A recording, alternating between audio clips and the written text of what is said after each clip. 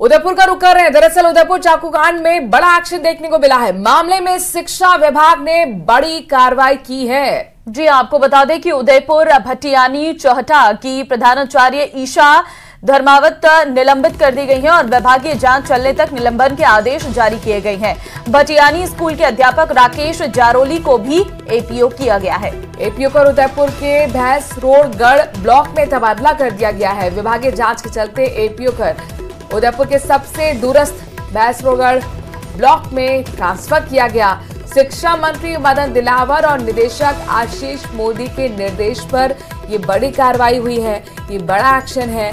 ज़ाहिर तौर पर दसवीं क्लास के दो स्टूडेंट्स आपस में झगड़ते हैं। एक छात्र चाकू से वार करता है, दूसरा छात्र घायल हो जाता है। चार दिन ज़िंदगी और मौत से जंग लड़ने के बाद आखिरकार दुर्भाग्यपूर्ण उसकी मौत हो जाती है। कई एक्शन लिए गए। अब ये एक्शन जो है खास तौर पर स्कूल के खिलाफ लिया गया है।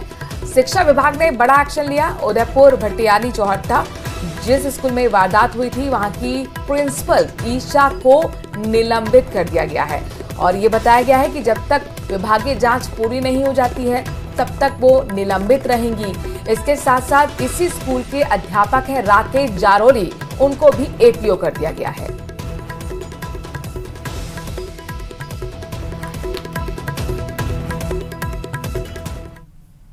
अजमेर रेप कांड भी ऐसा घिनौना केस है जिसमें सिस्टम ने बेटियों की बजाय बलात्कारियों की हिम्मत बढ़ाई।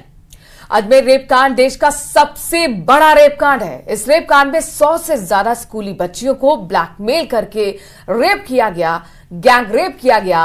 ये मामला इतना भयानक था कि छह से ज़्यादा बच्चियों ने बदनामी के डर से खुदकुशी तक कर ली थी। और कई परिवारों ने वो शहर ही छोड़ दिया था। कई बच्चियाँ पागल खाने तक पहुँच गई और कई ने तो आज तक शादी ही नहीं की। ये रिपोर्ट देखिए। देश का सबसे बड़ा सेक्स स्कैंडल सबको आज न्याय मिला है और सब न्यायालय द्वारा जो भी निर्णय सुनाया गया है उसके प्रति सबने अपनी संवेदनाएँ व्यक्त करी है। बत्तीस साल बाद छह आरोपियों को उम्र कैद। तीस साल बाद में जाके फैसला आया है और अभियुक्त जो है उस समय अपराध करने के बाद में यहाँ से फरार हो गए थे।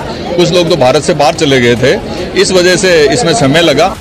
देश का सबसे बड़ा सेक्स स्कैंडल जिसमें सौ से ज़्यादा लड़कियों को शिकार बनाया गया। उन्नीस सौ बानवे के उस गैंगरेप ब्लैकमेलिंग कांड के छह आरोपियों को आज अजमेर की पॉक्सो कोर्ट ने उम्र कैद की सजा सुनाई है और पाँच पाँच लाख रुपए का जुर्माना भी लगाया है।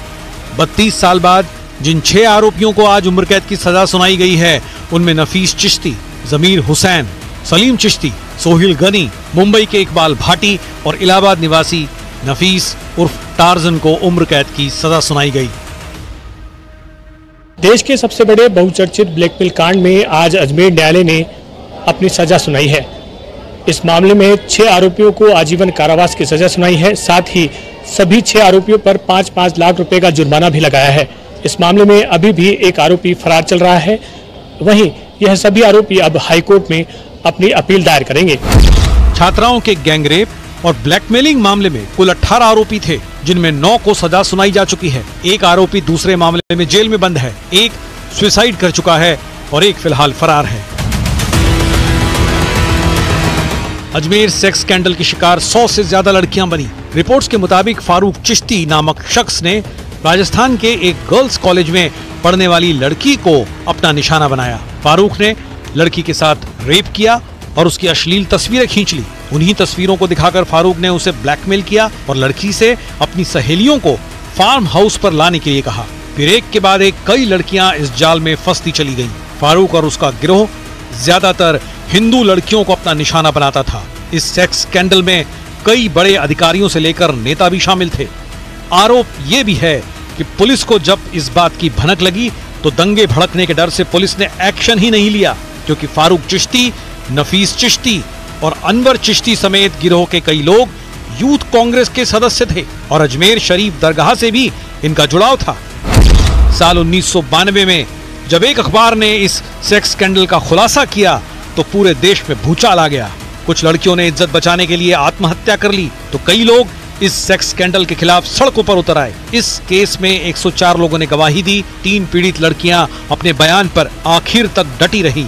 कोर्ट ने आज 208 पेज का फैसला सुनाया, जिसमें छह आरोपियों को उम्र कैद की सजा सुनाई गई है। लगभग 32 साल बाद में जाके फैसला आया है और अभियुक्तगण जो है, उस समय अपराध करने के बाद में है। यहाँ से फरार हो गए थे। कुछ लोग तो भारत से बाहर चले गए थे। इस वजह से इसमें समय लगा और बाद में एक स्ट्रेटेजी की तरह एक एक अभियुक्त आता गया और उसके बाद में पुनः विचारण किया गया। इसलिए काफ़ी लंबा समय जो है, वो विचारण में लग गया।